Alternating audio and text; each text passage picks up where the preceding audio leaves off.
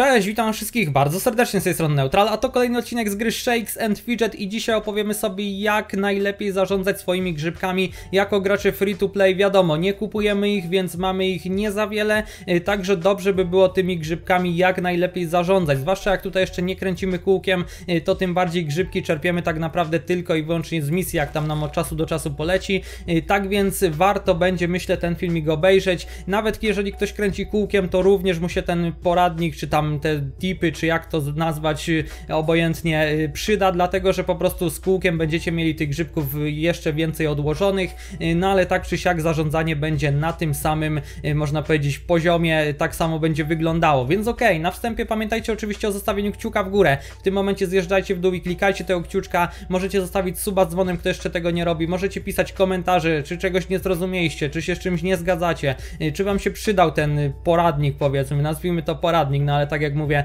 y, to są bardziej takie rady, tipy. Y, no i oczywiście wbijajcie na Discorda, na Instagrama i na Twitcha, linki są przy piątym komentarzu i opisie. Y, także okay, myślę, że możemy zaczynać. Od razu powiem na wstępie, że jest to, są to porady, jako iż ja nie jestem jakimś wybitnym graczem free to play, co już było widać. Nie idzie mi najgorzej, ale też nie najlepiej, także no jest jak jest. To są rady napisane przez jednego z użytkowników tawerny Shakesowej. Ja je postanowiłem przełożyć na język polski, bo to nie jest Polak. Dodałem coś od siebie, coś tutaj sobie napisałem, mam taką ściągę na drugim monitorze, y, coś od siebie dodałem, coś dopisałem i po prostu stwierdziłem, że Wam o tym nagram, bo uważam, że naprawdę te rady, które on podał y, są bardzo ciekawe, są bardzo przemyślane i dobrze, żeby jak najwięcej osób się o tym dowiedziało. Natomiast jeżeli chcecie skorzystać z oryginału, zobaczyć jak on wygląda, y, to po prostu wbijcie sobie na tawernę shakesową, link macie w, w opisie tego filmu i tam sobie będziecie mogli to obczaić. Natomiast no, przepisałem bardzo podobnie, tak jak on napisał niektóre rzeczy, więc myślę, że nie ma takiej potrzeby, no ale wiecie, żebyście wiedzieli y, co i jak i żeby tutaj komuś nie odbierać jego, yy, można powiedzieć, zasług, które wykonał. No i okej, okay, myślę, że powolutku możemy zaczynać. Tutaj mam to podzielone na kilka takich podkategorii. Yy, pierwsze są to, jest to piwo i wierzchowce, jak tutaj nimi zarządzać powiedzmy. Kolejna sprawa to jest Arena Manager, kolejna sprawa to są takie rzeczy jak tam arena, sklep, lochy, walki petów i inne rzeczy.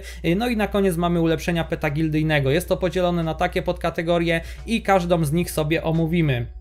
Mm, na wstępie, te tipy są, tak jak wspomniałem, y, głównie dla graczy, którzy nawet nie kręcą kółkiem. Ta osoba, która to pisała, również tym kółkiem nie kręci. Natomiast oczywiście, jeżeli nim kręcicie, to tak jak powiedziałem, będziecie mieli y, po prostu więcej odłożonych grzybów, bo tego, z tego kółka potrafi naprawdę dużo y, tych grzybów polecieć. Jeżeli ich nie kupujecie, a na przykład oglądacie tylko reklamy, żeby kręcić, to jeszcze lepiej oczywiście, ale również pewnie te porady Wam się przydadzą.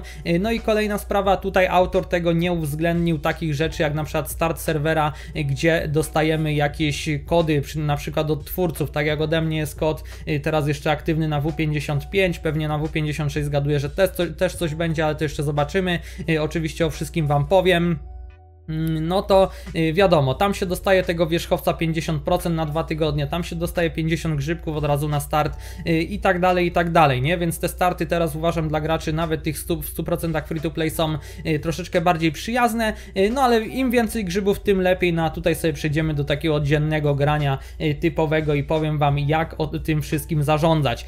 Na wstępie mamy piwo i wierzchowce, właśnie, bo tutaj myślę, że to jest dość istotne, żebyście wiedzieli, jak, ile tej jawki kupować jakie eventy, y, jakiego wierzchowca używać i tak dalej. Więc tak, mm, zawsze używaj wierzchowca przynajmniej 30%, czyli tutaj y, oczywiście mowa o tym. To jest wiadomo, dla ludzi, którzy nieraz potrafili kupić 20% albo 10%, no nie, minimum jakie, jaki musicie mieć tak naprawdę to jest właśnie te 30%. Y, natomiast od czasu do czasu będziecie kupować sobie Gryfosmoka, do czego zaraz przejdę. Oczywiście mówię, jak mamy z tego kodu Gryfosmoka, no to jeszcze lepiej, no ale to zaraz do tego przejdę.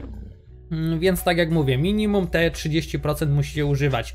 Z wyjątkiem niektórych eventów zależnie od Twojego poziomu. No i teraz po pierwsze, od poziomu pierwszego do momentu wiedźmy i czaru na zbroję zawsze używaj 30% i spróbuj oszczędzić około 100 grzybków.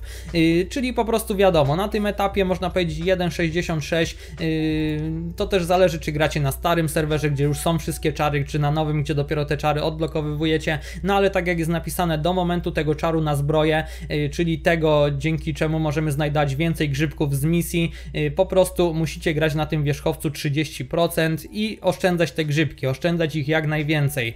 Mm, Rób trzy paski w eventy expa, tak samo w eventy grzybów, jeżeli masz szczęście w dropieniu ich. Y, no bo wiadomo, jak jest ten event grzybków, to tam się wiąże z promocją na grzybki, to jest zwiększona szansa na drop. Y, przeważnie robiąc trzy paski w taki event się to zwraca, nie? Więc polecam generalnie na tym etapie robić i w eventy expa, i po prostu w eventy tych grzybków, żeby wam się to zwróciło. Mm, no i okej, okay, dalej mamy przedział od 66 levela do 450. Ja bym tu bardziej dał, że po prostu od momentu, kiedy już mamy zaczarowaną zbroję, kiedy mamy ten czar i po prostu już możemy sobie, mamy tą większą szansę na grzybki z misji, nie? Teraz, kiedy masz czar, czar na zbroję, kup wierzchowca 50% w piątek wieczorem w eventy 4, 8 i 12. I tutaj o co z tym chodzi? Przygotowałem dla Was grafikę, y, mamy jak widzicie taki cykl eventów od 1 do 12 Obecnie, gdy ten film wchodzi, jesteśmy najprawdopodobniej na evencie siódmym. Często się to miesza.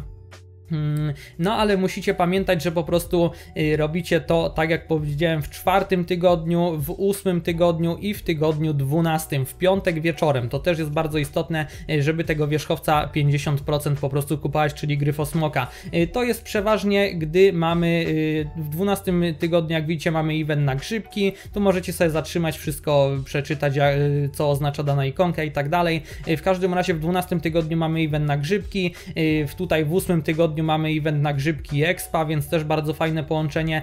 No i w czwartym tygodniu mamy również event na grzybki, więc tutaj głównie o to chodzi, no ale też pamiętamy, że gry jak go raz kupimy jest dostępny przez dwa tygodnie, y, no i zaraz do tego przejdę, także w te eventy y, musicie kupować po prostu w piątek wieczorem, tak jak wspomniałem, tego Gryfosmoka. To jest na przedziale od momentu czaru na zbroję do 450 levela, więc już idziemy bardzo wysoko, y, no ale tak jak mówię, poradnik jest dość kompletny i rób 320 awki podczas tych wydarzeń, czyli podczas tego eventu 4, 8 i 12, yy, więc yy, dzięki temu masz wierzchowca 50% jeden dzień ekstra, yy, czyli to jest trzeci piątek rano. Dlatego wspomniałem, żeby yy, kupować właśnie tego wierzchowca w piątek wieczorem, gdy zaczynają się te eventy, czyli mm, tak jak mówię, w czwarty event, 8 i 12, już powtarzam któryś raz, bo po prostu w ten trzeci piątek jeszcze rano możecie zrobić awkę na wierzchowcu 50%, yy, dlatego że on wam się skończy dopiero wieczorem. To Y, dużo osób to robi, y, dużo osób jakby jest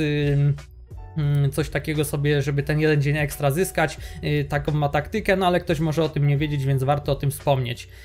I masz wierzchowca 50% podczas eventów, na których kupowanie piwka jest najbardziej efektywne, czyli tak jak mówię, robienie tych trzech pasków po prostu podczas tych eventów 4, 8, 12, no bo wtedy są te eventy expa, eventy grzybów, to są jak najbardziej najistotniejsze dla takiej osoby free to play eventy, więc wtedy po prostu rób również trzy paski. 320 mm, awki to są po prostu trzy paski, bo ja tu tak mam skrótami myślowymi napisane. Ok, kolejny przedział to jest od 450 levela do 500. Y, kup wierzchowca 50% w piątek wieczorem w eventy 3, 7 i 11.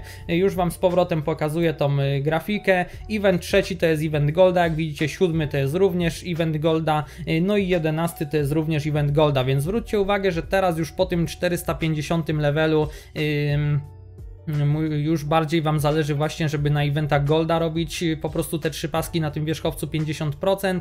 Y, no i co tutaj wybierać? Osoba, która pisała ten poradnik y, mówiła, żeby liczyć misje i po prostu grać na hybry, w hybrydę, że tak powiem, przez te 50 leveli, czyli po prostu jak jest misja jakoś bardzo opłacalna na expa, to gracie na expa, jak na golda, to na golda, z tym, że to trzeba liczyć, to trzeba skrupulatnie nad każdą misją siedzieć, nie każdy ma na to czas, nie każdy ma na to ochotę, więc ja już na tym przedziale 450 plus plus raczej preferowałbym granie po prostu na golda.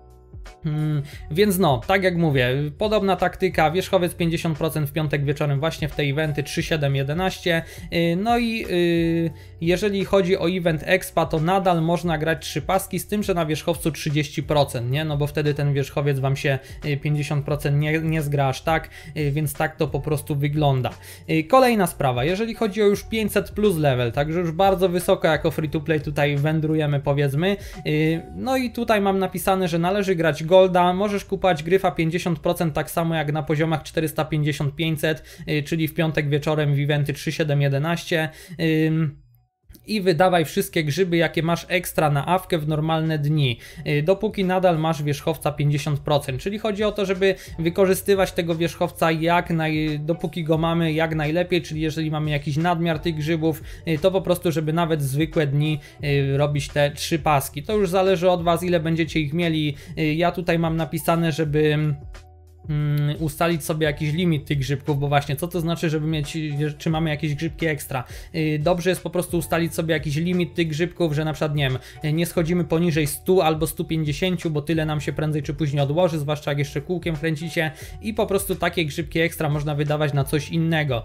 Y, z tym, że no wiadomo, mamy te kody na start na przykład nowych serwerów, z tym, że z tych kodów to grzybki najlepiej, żeby poszły w ulepszenia gildyjne, y, no bo jednak zrobić te ulepszenia to jest no, no istotne po prostu, nie? Y, żadna gildia nie będzie raczej nawet free to play chciała osoby, która ma tam y, nie ma 10-10 ulepszeń, nie? Więc y, no te grzybki raczej szybko pójdą na takie podstawy na początek. Hmm, tak więc tak jak mówię, to jeżeli chodzi o zarządzanie y, piwkiem i wierzchowcem. Taki w skrócie, więcej tam nic nie było, no ale myślę, że to jest bardzo ciekawe. Musicie po prostu śledzić, jakie będą eventy, y, czy to u mnie na Discordzie, czy na tej tawernie shakesowej, zawsze jest podawane jaki w środę o 12, zawsze jest podawane jaki event będzie w kolejny weekend i jaki będzie w jeszcze kolejny, y, więc tutaj myślę, że warto po prostu być, warto śledzić i wtedy to sobie możecie zaplanować. Jeżeli chodzi o arenę menedżera, to jest kolejna sprawa. Y, tutaj nie ma jakichś y, specjalnych y, wytycznych, że tak powiem, tylko jedyne co musicie zrobić to kupić podwójne ulepszenie toalety za 75 grzybów. I nie kupujcie skipów, to jest ważne jako gracze free to play, skipy was totalnie nie interesują, no i rozbijacie sobie tego tomarenkę i tutaj sprawdzacie każdego kupca.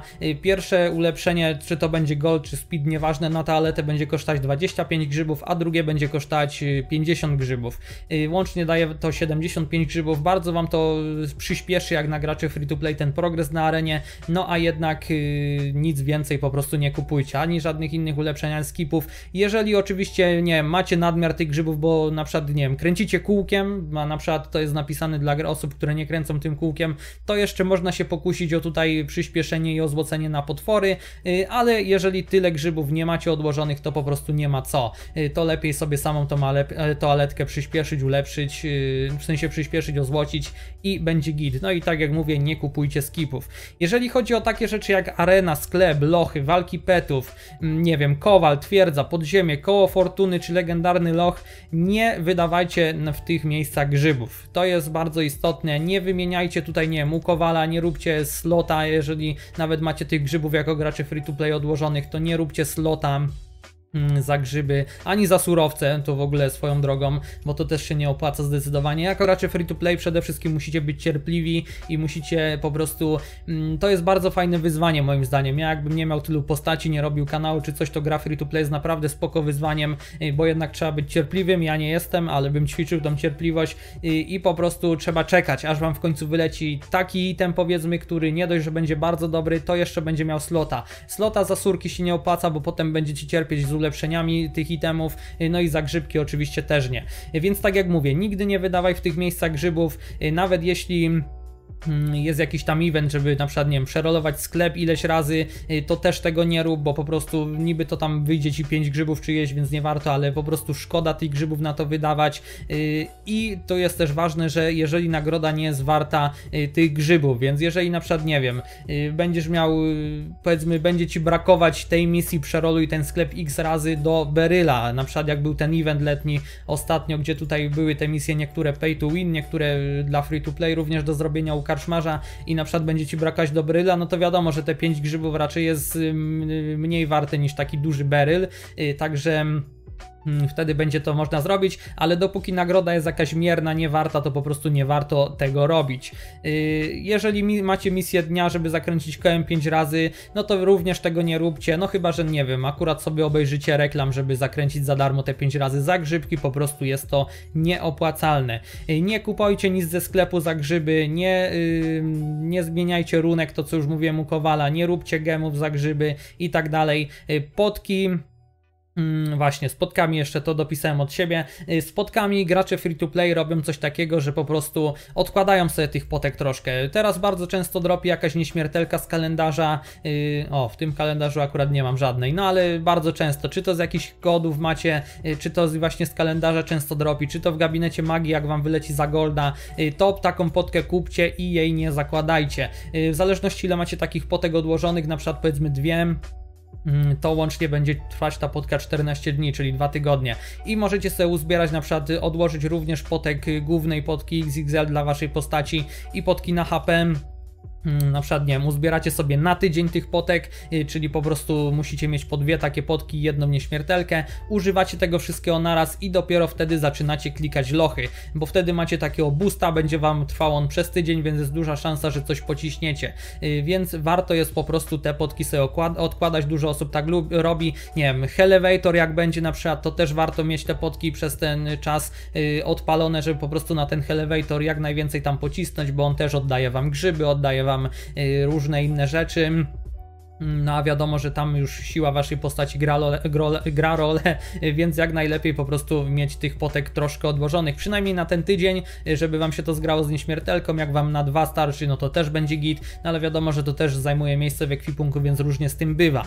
Y, Więc to jeżeli chodzi o takie podstawowe funkcje gry, w tych miejscach po prostu tych grzybków nie wydawajcie. No i mamy kolejną sprawę, to są ulepszenia peta gildyjnego, ym, jeżeli będzie używać, będziecie używać tych taktyk, które wam tam podałem wyżej, jak tym zarządzać i tak dalej, y, to nadal będziecie mieć dużo, dużo grzybków ekstra, które wam będą po prostu zostawiać, y, zostawać. No i tak jak mówię, musicie sobie ustalić jakiś limit poniżej którego nie schodzicie. Y, Tu autor powiedział, że jest to około 100 lub 150 grzybków. Uważam, że to jest git. Jeżeli kręcicie kółkiem, to ten limit możecie sobie nawet zwiększyć, bo wiadomo, z niego jest więcej tych grzybów. Y, No i jeżeli będziecie mieli nadmiar tych grzybów, czyli będziecie ponad, y, to możecie sobie wtedy ulepszać tego peta gildyjnego y, tutaj właśnie w gildii. Y, Wiadomo, że jak gracie w jakiejś gildii dla osób free to play, no to tam y, z tym petem nie będą was jakoś cisnąć czy coś, każdy będzie ulepszał w miarę swoich możliwości, no ale jednak warto regularnie tutaj tego peta sobie kliknąć, jeżeli macie jakiś nadmiar grzybów, no bo to jest coś takiego jak powiedzmy ulepszenia gildyjne, nie? Chociaż ulepszenia wypada zrobić jak najszybciej,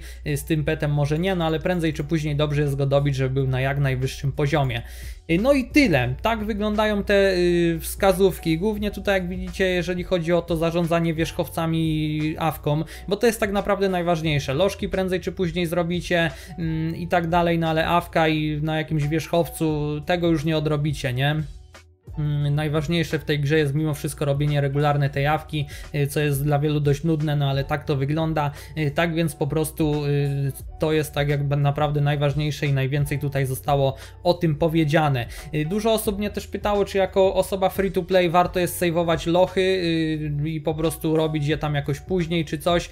Moim zdaniem, no mimo wszystko warto, nie? W sensie, po pierwsze, jak troszkę sobie porobicie same jawki, nie, będzie, nie będziecie klikać lochów, y, to zawsze wam tam troszkę zostanie po prostu tej, y, te, te, jakby zwiększą wam się procenty na lochy, nie? I potem wam je, będą o wiele łatwiej padać, więc dobrze sobie taką przerwę zrobić, to po pierwsze, to y, pierwsza sprawa i jakby będziecie mogli je za darmo tak jakby klikać co godzinkę, Y, natomiast druga sprawa jest taka, że no nawet jak robicie ten jeden pasek, to i tak tego expa zyskacie więcej niż jakbyście mieli powiedzmy y, tam y, docisnąć te lochy na tej górce expa, nie? Wiadomo, że tutaj temat jest ciężki, no bo jednak i tak robicie tak czy siak mm, tego expa trzy razy mniej, w sensie zdobywacie codziennie niż osoba, która gra tam trzy paski, no bo wy generalnie robicie jeden pasek na co dzień i grzybiarz robi trzy, więc y, można powiedzieć łatwa teoria, że wy y, jeden, w jeden dzień grzybiarz robi wasze trzy dni, o może w ten sposób, no ale i tak na tej górce expa, nawet jako gracz free to play moim zdaniem tych lochów nie ma co cisnąć,